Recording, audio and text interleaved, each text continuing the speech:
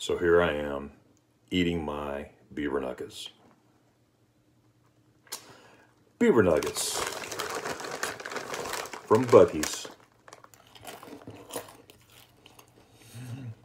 Yummy stuff!